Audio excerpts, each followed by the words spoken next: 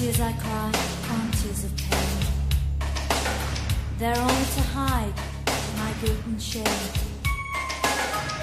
I forgive you, now I ask the same of you. While we were apart, I was human too.